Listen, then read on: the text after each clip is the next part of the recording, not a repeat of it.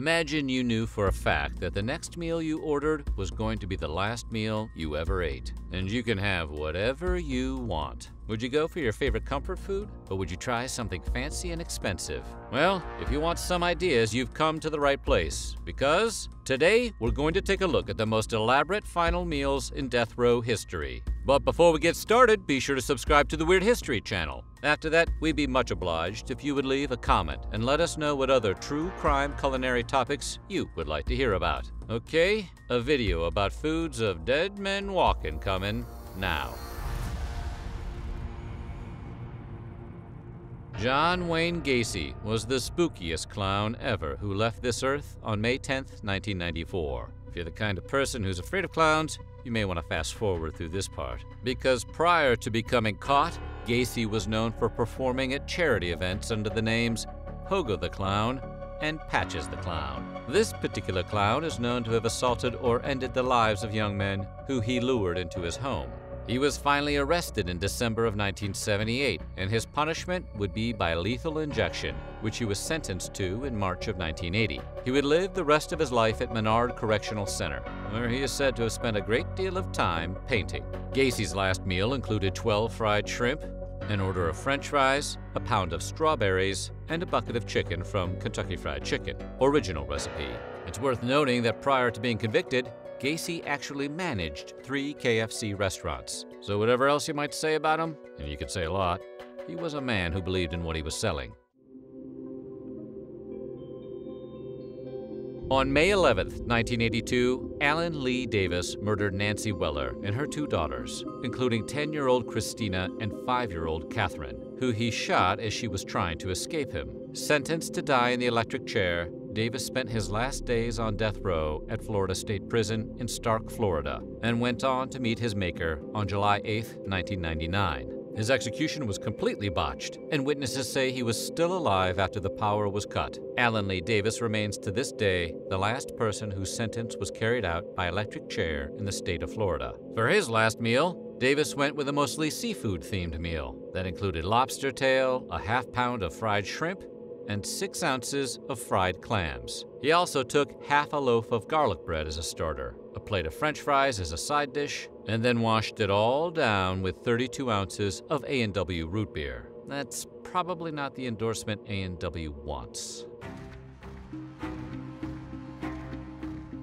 In October of 2002, Teresa Lewis murdered her husband and stepson in order to cash in on a $250,000 life insurance policy. Lewis farmed the hit out to Matthew Jesse Shallenberger and Rodney Lamont Fuller, whom she had met at Walmart. Wow, Walmart does offer a lot of services. Lewis let the hitmen into her husband's trailer and tried to make the whole thing look like a robbery gone awry. Unfortunately for her, her husband wasn't quite demised when the police arrived, and deputies heard him say that his wife knew who did it. On the advice of her attorney, Lewis pleaded guilty, hoping for leniency. But she was sentenced by way of lethal injection anyway. She spent her last days as the only woman on death row at the Fluvanna Correctional Center for Women in Troy, Virginia. This sentence was finally carried out on September 23, 2010. For her last meal, Davis opted for some American classics, including fried chicken, peas with butter, Dr. Pepper, and for dessert, apple pie.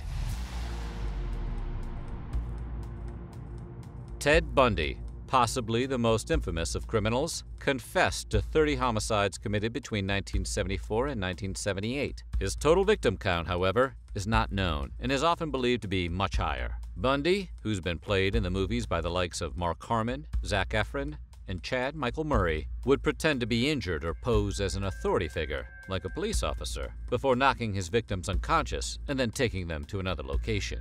Bundy was captured in 1975, but escaped twice before finally being put away for good in 1978. On February 10, 1980, Bundy was sentenced to the electric chair, which was carried out on January 24, 1989, at Florida State Prison in Bradford County, Florida. Bundy, probably having lost his appetite knowing what was in store for him, passed on the chance to have a special last meal. Instead, he received the standard fare, which included steak cooked medium rare, eggs over easy, hash browns, toast with butter and jelly, milk, and juice. Timothy McVeigh carried out the 1995 Oklahoma City bombing. His attack, which destroyed one third of the Alfred P. Murrah Federal Building, took the lives of 168 people and injured almost 700 others. Police caught McVeigh by tracing the vehicle identification number of a rear axle found in the wreckage of the bombing. The part belonged to a Ryder truck that had been rented in Junction City, Kansas. Employees there gave a description to an FBI sketch artist, and that sketch eventually identified McVeigh, who had been arrested on an unrelated gun possession charge in Perry, Oklahoma. McVeigh was convicted on June 2, 1997, and sentenced to meet his maker 11 days later. He would spend the majority of his remaining days on death row in Terre Haute, Indiana. His sentence was carried out on June 11, 2001. For his last meal, McVeigh kept it simple. All he asked for was two pints of mint and chocolate chip ice cream. Sacco and Vanzetti were Italian immigrants and anarchists. In 1921, they were convicted of taking out a guard and a paymaster during an armed robbery in Braintree, Massachusetts, on April 15th of the previous year. Despite their numerous appeals being denied, Sacco and Vanzetti became famous worldwide. Legions of people believed them to be innocent, and protests were held all over North America and Europe as well as in places like Tokyo, Sydney, Buenos Aires, and Dubai. Nonetheless, their sentences were carried out at midnight between August 22nd and 23rd of 1927. Over the years, evidence mounted in their favor, and in 1977, Massachusetts Governor Michael Dukakis said that they had been unfairly tried and convicted and that any disgrace should be forever removed from their names. Sacco and Vanzetti's last meal is recorded as being the simple menu of soup, meat, toast, and tea. What kind of super meat it was, unfortunately, is lost to history. Ricky Ray Rector took the life of a man at a dance hall after a friend of his had been denied entry. Three days later, Rector agreed to turn himself in, but in a twist absolutely no one saw coming, he also took the life of the police officer who negotiated his surrender by shooting him in the back and then tried to take his own life with a pistol to the head. Despite the fact his botched attempt had effectively lobotomized him, Rector was sentenced to lethal injection. Arkansas Governor and future President Bill Clinton even returned home from the presidential campaign trail to oversee the execution, which was carried out on January 24, 1992.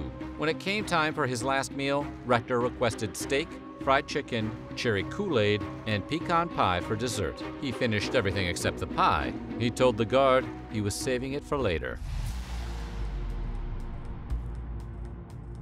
On May 26, 1980, Stephen Wayne Anderson robbed the Bloomington, California house of a retired teacher, Elizabeth Lyman. When Lyman saw Anderson in her home, she screamed, prompting him to shoot her. Anderson, who was known to have admitted to taking the lives of at least eight other people, was convicted of the Lyman murder and sentenced on June 24, 1981. His sentence was carried out by lethal injection on January 29, 2002. When it came time for his last meal, Anderson requested two grilled cheese sandwiches, a pint of cottage cheese, a hominy corn mix, peach pie, chocolate chip ice cream, and radishes.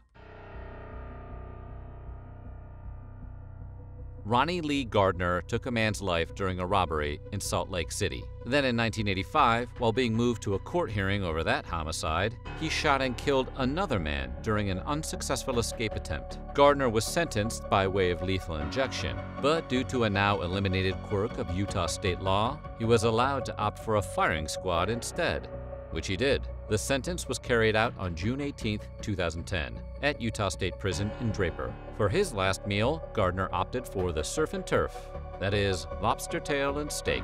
He finished it off with apple pie and vanilla ice cream, all while watching the Lord of the Rings trilogy. Well, the trilogy. He's really trying to put off that execution. On December 29, 1979, the life of the manager of a Florida strip club called the Velvet Swing Lounge was taken when three men robbed the club. There were no eyewitnesses to the shooting, but four years later, Angel Nieves Diaz's girlfriend told police that he was involved.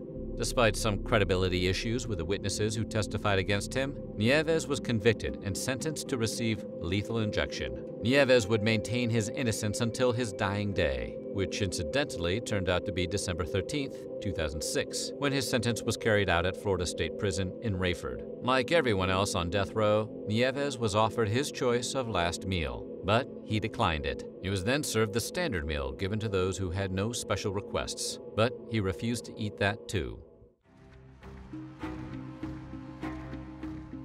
Victor Harry Feguer was a drifter, and in the summer of 1960, he drifted into Dubuque, Iowa, where he rented himself a room at an old boarding house. Feguer went through the yellow pages, phoning doctors and telling them he was with a woman in need of medical care. Dr. Edward Bartels took the bait, and when he showed up, Feguer kidnapped him and stole his car. He was captured a few days later in Alabama, but by that point, he had killed Bartels. He was convicted in a federal court and sentenced. Despite a plea from the anti-death penalty governor of Iowa, President John F. Kennedy, who cited the brutality of the crime, refused to grant Feguer's request for clemency. Feguer spent his last days in the Iowa State Penitentiary in Fort Madison. His sentence was carried out on March 15, 1963. He would be the last person put to death in the state of Iowa. Feguer's last meal was about as simple as it gets. He had just one single olive, with the pit still in it. So what do you think? What would you want as your last meal? Let us know in the comments below, and while you're at it, check out some of these other videos from our weird history.